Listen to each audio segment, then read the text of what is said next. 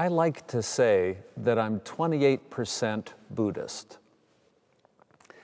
What I mean by that is that Buddhism has shaped my spiritual perspectives, and that Buddhism, I think, makes me a better Christian. But I get some odd reactions when I say that I'm 28% Buddhist. And I kind of like odd reactions. It creates the opportunity for impromptu philosophical discussions, and I love that. So sometimes when I say I'm 28% Buddhist, someone says, How did you determine that it's exactly 28%? And I tell them that I'm kind of joking, of course. I just mean I love Buddhism. And that human consciousness, of course, is an infinity. Remember that Jesus said, The Father and He are one, and that we are all one. We are all connected to an infinite consciousness, God.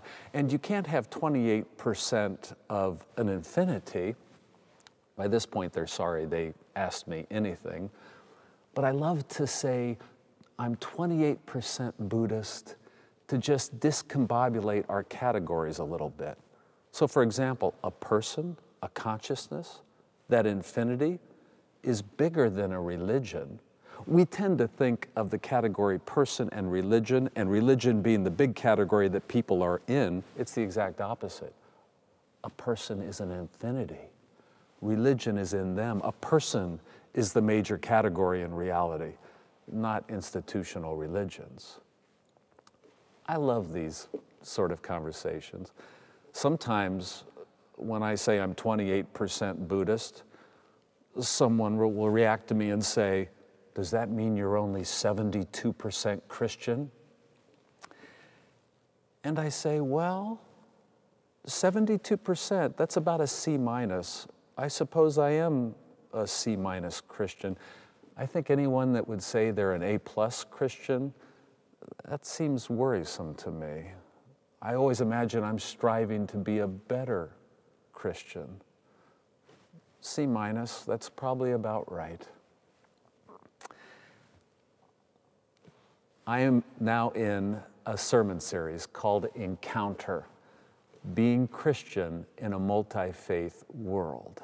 And I'm trying to revel in the existence of other religions. Variety is the spice of life.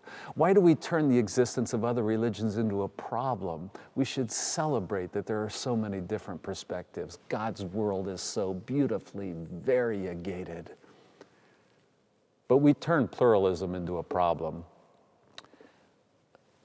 I would like to say, though, there's a problem before that problem. Now, follow me.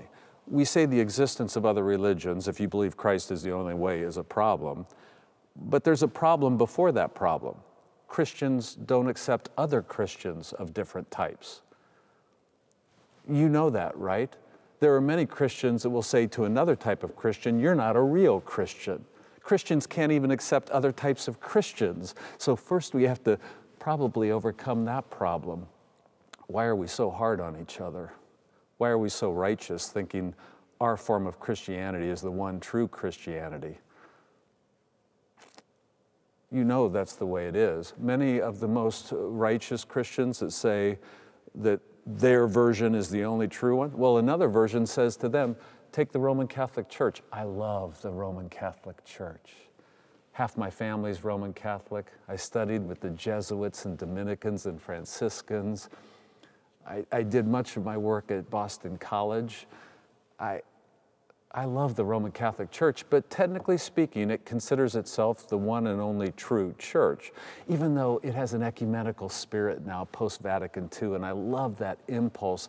It's still the case that its doctrine that all other forms of Christian communions are deficient, except for the one true Roman Catholic Church.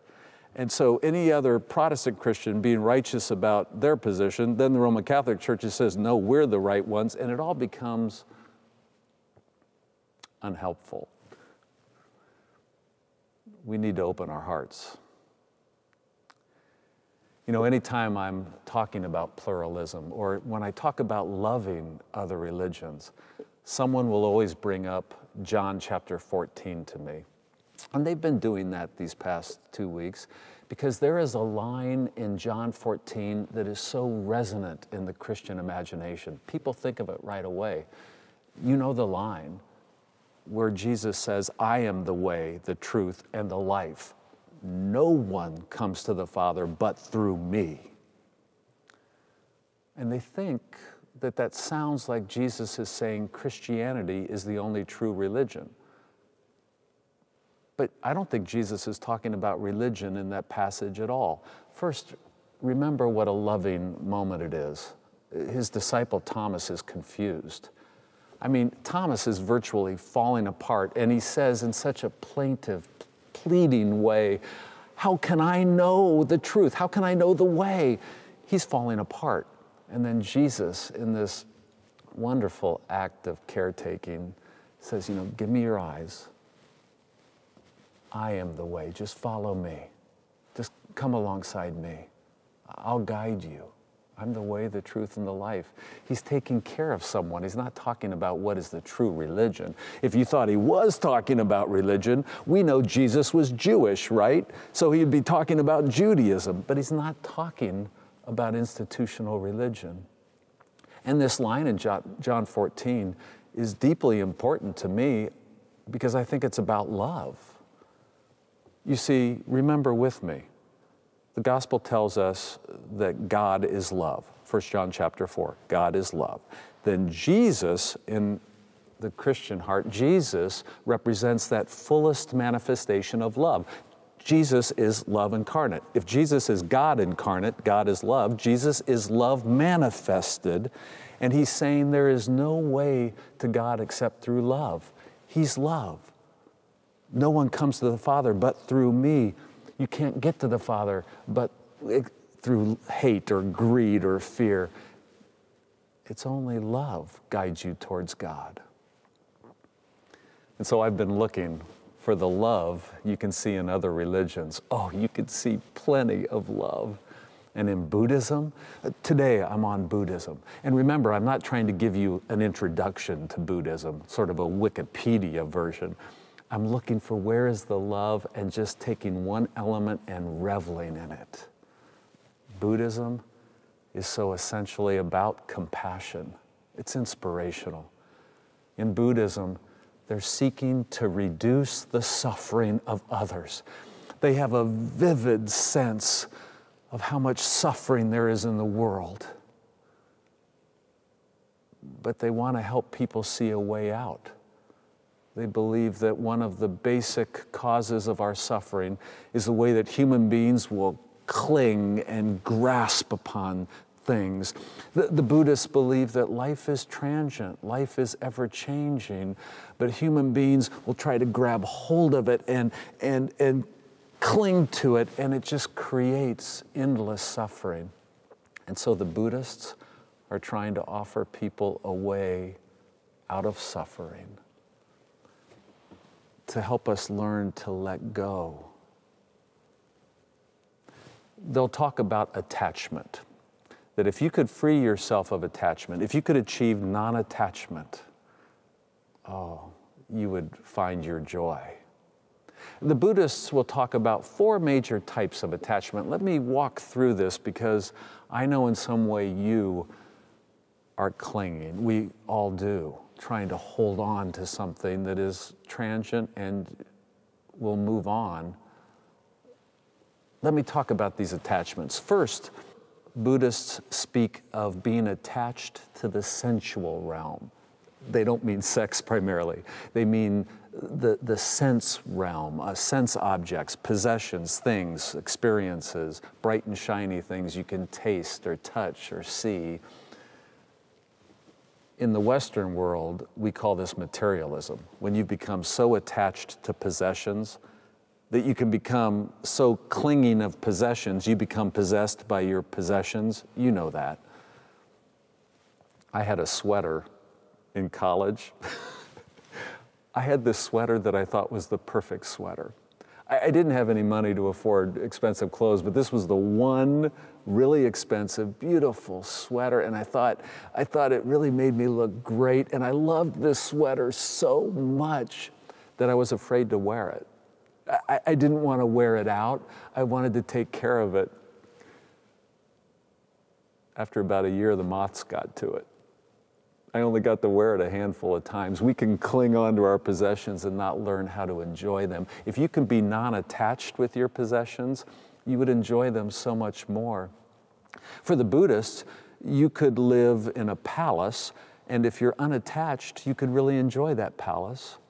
But you could live in a palace, and if you're attached to it, there'll be no joy. The same with a shack. If you could live in a shack but not be attached to it, you could find enjoyment. It, the attachment to the sensual realm, the way we cling and hold on to things. And then they'll talk about attachment in terms of opinion, your perspective on the world. You see, your whole life has trained you to see the world in a certain way, and you overtrust the way you see the world. You hold on to it. I know I do. But the Buddhists help us remember that there is about a zero chance that you have a full grasp of reality, a zero chance, and that you need to be unattached to your versions of reality, to be open. There was this old time senator, mid 20th century, I can't remember his name. And when he was giving political speeches, he'd give a big stem winder. And then at the end, he would always say this I love this he would say, Them's my views. And if you don't like them, I'll change them. Well, he was joking about how politicians will change their opinions. But we should have something of a similar perspective. Them's my views. But if I find out some new information, I might change them. You see, your version of the world, it's like a map, and you're living by that map but it's not the actual world. Would you rather experience a map of Yosemite or walk through Yosemite itself? Don't be too attached to your maps, your opinions. And then the Buddhists talk about attachment to rites and rituals. They mean primarily that religious and spiritual folks will become attached to the outward forms of their religion, that there is an inward essence but that will cling to the outward forms. I know as Christians we do that a lot to our theology, our rituals, our understandings. There's an inner essence, there's a love, but we cling to the outward forms. And then lastly, the Buddhists talk about attachment to self that your ego, your ego is your self definition, and everything in your life has gone into defining who you think you are, but then you begin to cling on to that and you try to protect it. You'll move into endless cycles of self defense to maintain your ego or promote your ego in the world. And so the Buddhists try to help us let go of ego. It's hard. In our culture, we're taught to promote ourselves we're ego driven in a Western culture, but the Buddhists remind us that will create so much suffering. If you can let go of self, you will find your joy. Have you ever seen those images of a laughing Buddha? Uh, the Buddhist sense that if you could just let go of clinging, there'll be a, just a natural joy so let me end with a couple Buddhist jokes. This is one of my favorite.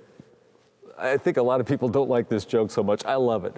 So a Buddhist walks up to a hot dog stand and says, Make me one with everything. I love that because of that sense of, of Buddhist non duality. They're seeking to understand that reality isn't so much subject object, but that, that we're united with all things. That would get you beyond all attachments. If you could perceive the non dual aspect of reality, there'd be nothing to attach to, all is one. The vendor hands him the hot dog, and then the Buddhist says, Where's my change? He'd given him a 20. And the vendor says, Oh, change comes from within. You see, the Buddhists believe that you are not your thoughts and that you can learn through meditation. The practice of meditation is what allows one to become unattached. You can stop that clinging, that grasping. A Zen monk in the monastery went to the master and he said, Are we allowed to use email here in the monastery? And the master said, Well, sure, but with no attachments. No attachments. And then lastly, just to remember the laughing Buddha. Why was the Buddhist fired as a coroner? Why was the Buddhist coroner fired? Because he kept putting the cause of death as birth. Oh, the Buddhists have a sense that we're part of a greater eternity. So I'm 28% Buddhist. But now you hear what I mean. I just revel in the love that Buddhism is trying to bring into the world. And I know you have been made to bring more love into the world. May it be so. Amen.